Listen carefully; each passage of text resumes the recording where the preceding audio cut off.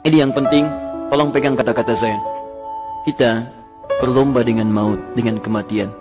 Dan kita tidak tahu kapan waktu kita untuk berpulang. Karena itu mohonlah selalu kepada Allah untuk menjaga kita dalam ketakwaan terbaik dan mempertahankan keimanan saat kita kembali kepada Allah.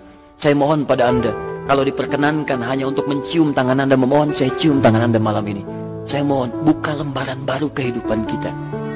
Tidak ada manusia yang sempurna, kita bukan malaikat. Kemarin kita salah, siang tadi kita salah, tapi kita bisa berubah. Kalau Anda bisa memilih yang baik, kenapa mempertahankan yang buruk? Karena itu, jika Anda tidak mampu berlomba dengan orang soleh meningkatkan ketakwaan, berlombalah dengan para pendosa untuk bertobat kepada Allah Subhanahu wa taala.